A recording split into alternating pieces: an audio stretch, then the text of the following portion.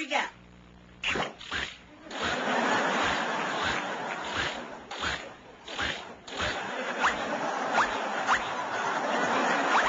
And my impression of a facelift?